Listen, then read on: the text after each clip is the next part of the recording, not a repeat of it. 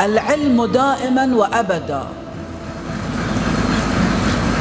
الدراسة المركزة. الإنسان لا يتلف وقته. كثير من الأوقات في معرض التلف. وقت القعدة. وقت السوالف. وقت النزهة. وقت الانتظار. كثير من الأوقات تتلف هكذا.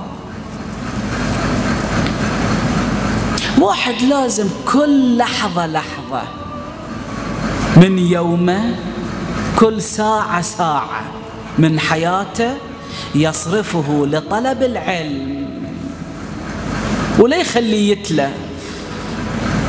هذه الأوقات التالفة اللي هي في معرض التلف. هذه الأوقات إذا واحد يجمعها يشوفها أوقات كثيرة جدا. لسان حال العلم يقول أعطني كلك أعطك بعضي. العلم مو سهل. واحد يريد يصير طبيب عشرين سنة لازم يدرس يصير طبيب. هسه واحد يريد يصير مرجع ديني. كم سنة لازم يدرس؟ بعض الطلاب من الليل للصبح ما ينامون للمطالعة. طول النهار في المطالعة. يتركون كل شيء لأجل الدراسة حتى يحصل على شهادة. شهادة جامعية.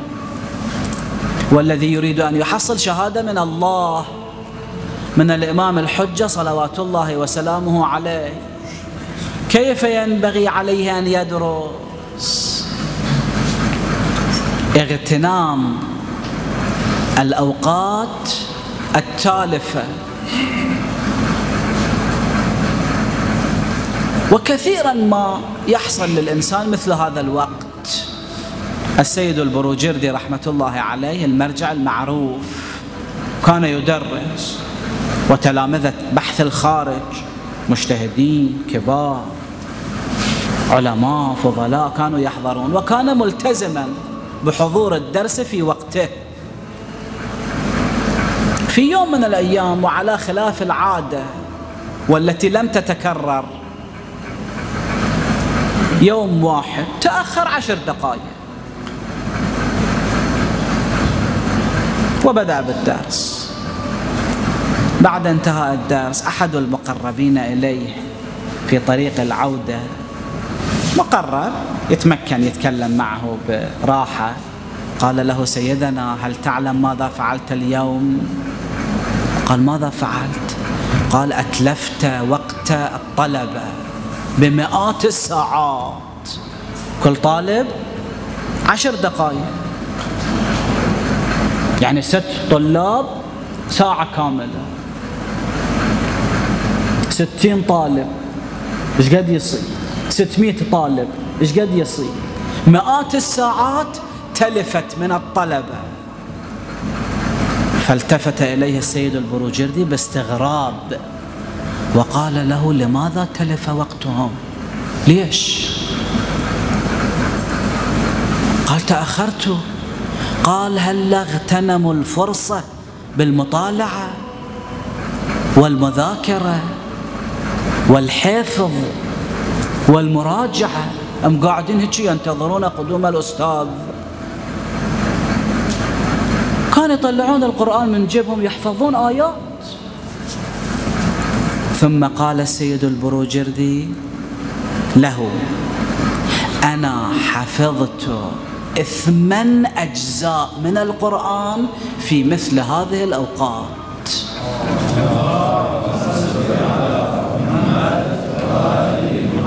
الأستاذ تأخر خمس دقائق.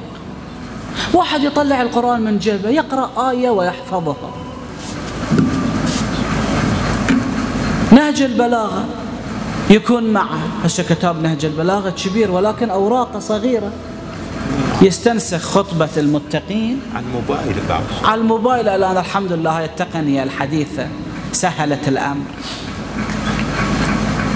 خطبة المتقين المرحوم الوالد رحمة الله عليه في كربلاء قبل خمسين سنة تقريبا حينما كان يريد أن يشرح كتاب المكاسب. كيف شرح كتاب المكاسب؟ إيصال الطالب. هذا الشرح اللي الآن يعتمد عليه في الحوزات العلمية. الأساتذة والطلبة يعتمدون عليه. في النجف الأشرف في قم المقدسة هنا في سائر الحوزات. من الكتب الرئيسية لفهم كتاب الشيخ الأعظم رحمة الله عليه. كيف شرح هذا الكتاب؟ سابقا الكتاب كان طبعة كبيرة مخطوطة. أخذ نسخة وورقها إلى أوراق أوراق. وكان يجعل معه ورقة واحدة في جيبه. بمجرد ما يوصل إلى مكان ينتظر واحد. أو تسنح الفرصة. يخرج تلك الورقة ويبدأ بالشرح مثلا في الفاتحة مثلا أو مثلا حتى في الفاتحة بعض الأحيان كان يكتب. أو مثلا في انتظار الطبيب مثلا. أو في السيارة يجلس في السيارة ويكتب. طبعا ذاك الوقت سيارة نادر كان أكو كان يجلس في الربل يسموها. إيه. عربانة مال الحصان اللي جرة يجلس هناك ويكتب. هسه ينتظر واحد أو دا يتحرك الربل هكذا شرح إيصال الطالب. هكذا كتب إيصال الطالب إلى المكاسب 16 مجلد هذا يعني شنو؟ يعني اغتنام الفرصة. ولكن تجد واحد آخر في الانتظار يسولف يحكي. ينكت. لا سمح الله يغتاب هذا وذاك